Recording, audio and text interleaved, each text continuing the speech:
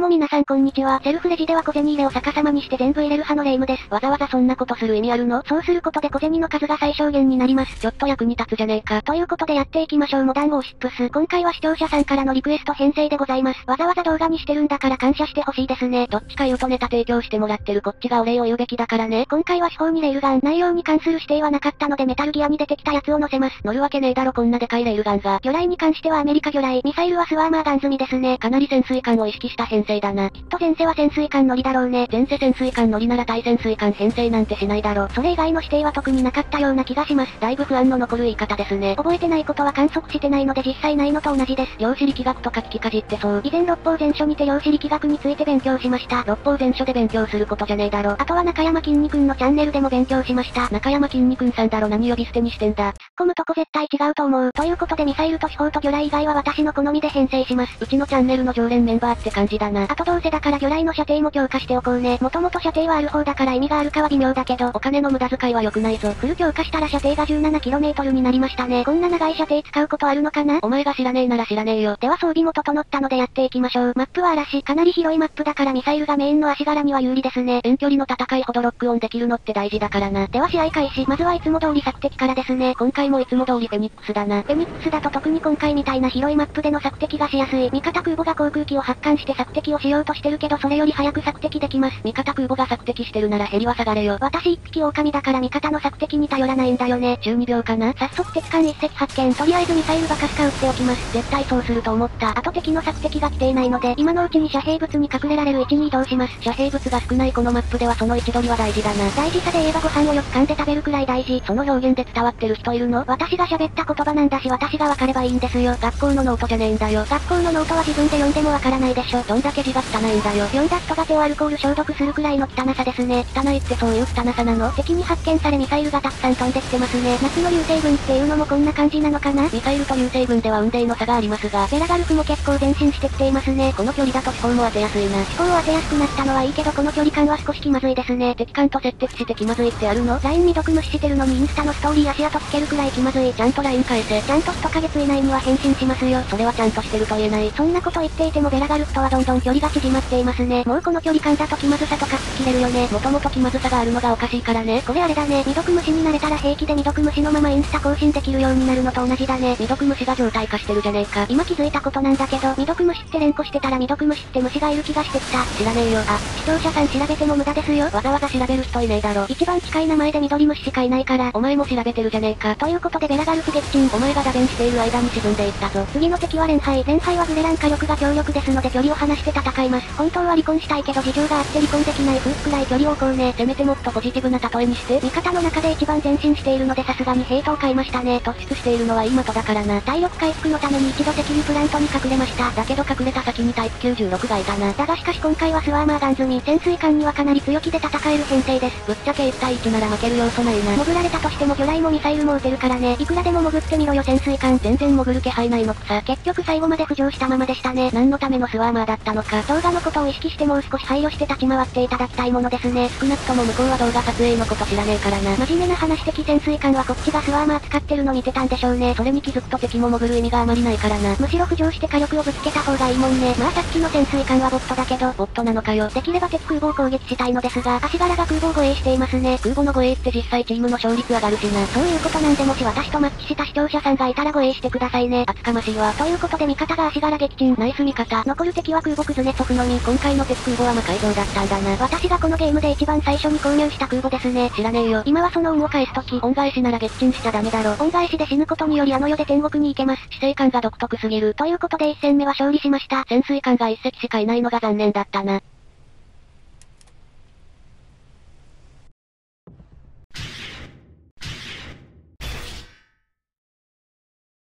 では2戦目やっていきましょう。今回はボットなしのマッチングです。前の試合は潜水艦がボットだったしせっかくの編成が活かされてなかったな。まあうちの視聴者はみんな優しいからそんな厳しい目で見てないと思うけどね。視聴者に甘やかされた動画投稿者。ということで試合開始したので索敵から、今回の索敵一番乗りも私ですね。索敵の順番って競うものでもねえだろ。これで世界陸上優勝間違いなしだね。索敵の速さと世界陸上に何の関係があるのか。共通点といえば地球での事象ってことだね。関連性皆無。敵艦2隻が密接したので両方発見できました。ただ今のご時世密は避けた方がいいと思うけどね。絶対関係ないだろ。特に3密が一つも守られてないのは非常によろしくない。これのどこが密閉空間なんだよ。もしこの光景はユニコに見られたら怒られちゃう。東京都知事を下の名前で呼ぶな。最初の接敵はタイプ96。1戦目ハボットだった無念を今晴らすとき。完全に飛ばっちりじゃない。あでも2セット車線通ってるのまずいし潜水艦とは車線切ろうかな。意見コロコロ変えすぎじゃない。このまま前進して遮蔽物を使い潜水艦とは車線を切ります。そうすることで同時に2隻相手にする必要がなくなるんだな。2隻同時に相手するのは男女間のもつれにも繋がるからね。この状況でどうやったら男女関係がもつれるんだよ。上司と部下のいけない不倫関係的な？上司も部下もいねえよこの空間。ということで無事潜水艦と車線が切れました。今相手にするのはナヒモフ一隻だけだな。なおかつ危なくなったらすぐ隠れられる位置もゲット。花見の場所取り経験豊富な私の経験が活かされた瞬間です。それ場所取りのパシリにされてない？レールガンはいいけどスワーマーは少し体感に火力不足を感じるね。潜水艦相手のミサイルだしあんまり火力高く作られてないからな。グラミートくらいの火力があればいいのに。潜水艦使う人いなくなりそう。ナヒモフを撃沈したので次こそ潜水艦を撃沈します。敵潜水艦は潜ったままだが今回の編成的に問題はないな。むしろ浮上してきて火力をぶつけられる方が困るね。このまま攻撃し続けて敵の振動をさらに下げたいね。もしかしてうまいこと言ってるつもりなの？潜水艦には逃げられました。何やってんだよ？こちらが対戦ミサイル持ちだから隠れたんだろうね。スワーマーは装填速度も速いから着なんて間に合わないからな。時間に追われるまるで現代人のような敵潜水艦でしたね。もっとなんかうまいこと言えないのか。仕方ないので次はタイプ100を狙います。距離は離れてるけど車線が通ってるな。特にタイプ100は足も遅いし周りに遮蔽物もないですね。体力の多い潜水艦だけど頑張ればここで撃沈できるかな？あの潜水艦はミサイルの数が多いから気をつけろよ。確かに着を打つタイミングなんかはかなり大事になってくるね。9連発の DF があるからな。そんな話をしているとやはりミサイルが飛んできましたね。だけど潜ったってことは次のミサイルはないだろうな。酸素容量の少ないタイプ100は大体通常ミサイルだからね。このままもう少し押し込もうと思ったけど、手前にタイプ96がやってきました。動画投稿的に潜水艦がガンガン攻めてきてくれるのは助かる。結局動画のことしか考えていないプレイヤー。なんなら動画のためにも潜水艦たちにはメントスコーラとかやってほしい。少なくともうちのチャンネルでやる企画じゃねえだろ。ああいうのはバラエティチャンネルがやるべき企画だよね。こんな堅苦しいチャンネルがやることじゃないね。マシュマロ並みの柔らかさのチャンネルが何言ってやがる。お豆腐くらいの硬さはありますけど、そこの意地はどうでもいいんだよ。ということでタイプ96撃沈。ナイスキル。最後のタイプ100も撃沈間近ですね。体力はほぼほぼ残っていないな。次でとどめのミサイルかな？もしかしたら着をタくかもしれないけどな。着を間に合わせないようにするために敵艦との距離を縮めます。距離を縮めたらミサイル命中の間隔が狭くなるからな。それで着を装填する時間もなくなるってことよ。人生も大体こういう感じだよね。どういう感じ？敵艦も修理キット使ってしぶとく生きてますね。急いで遮蔽物に隠れようともしてるな。100メートル8秒の私から逃げられるとでも確かに早いかもしれないけど船に乗ってたら意味ないだろ。ということで最後のスワーマーが命中して無事勝利。あごめんちょっと早かったわ。動画の構成くらいしっかり確認しろ。これが本当に最後のミサイルだね。今までご愛読ありがとうございました。なんで打ち切り漫画みたいな終わらせ方しようとすんの？どうだったでしょう？スワーマーガン積み足柄。潜水艦とマッチした時はかなり強気に出られるぜ。特にこの編成は真似しやすいと思うのでおすすめです。今回の動画はここまでです。よかったらチャンネル登録していってください。それではご視聴ありがとうございました。